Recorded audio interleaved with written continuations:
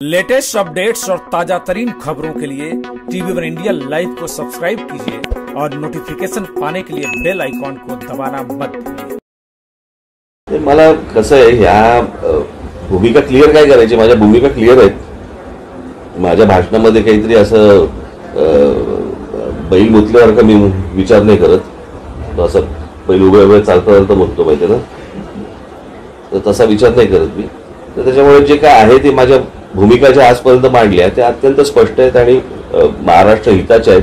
त्याच्यामध्ये देशहिताच्याही गोष्टी मी मांडलेल्या आहेत की प्रत्येक राज्याने आपापली भूमिका कशी निभावली पाहिजे आणि काय काय गोष्टी केल्या पाहिजेत. तुम्ही आमच्यावरती आक्रमण करू नका आम्ही तुमच्यावरती आक्रमण करत नाही आहोत. आणि मला असं वाटतं आज तुम्ही जर समजा आसाम आणि मिझोराममधले जर समजा बघितलं तर तिकडेही तेच चालू आहे. मूळ प्रश्न असले निर्माण काय होतात ह्या पण आपण गोष्टींकडे पाहणं आवश्यक आहे गरजेचं आहे. भूमिकांना विरोध. व्यक्तीला नाही. मी याच्या आधी तुम्हाला अनेकदा स्पष्ट केलेलं आहे. माझं नरेंद्र मोदी असतील अमित शहा असतील तर अजून कोणी असेल माझं काही वैयक्तिक देणं घेणं नाहीये.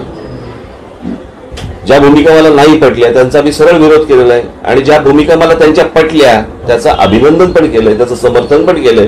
त्या समर्थनार्थ मी मोर्चाही काढलेला आहे. हे विसरू नका.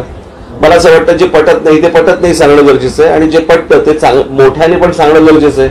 की पटतं. यात काही चुकीचं आहे का? नाही हे सगळ्या गोष्टी सांगताना छक्केबंजी करू का? आवश्यकता नाही